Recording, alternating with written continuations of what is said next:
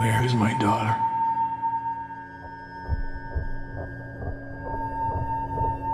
People don't just disappear.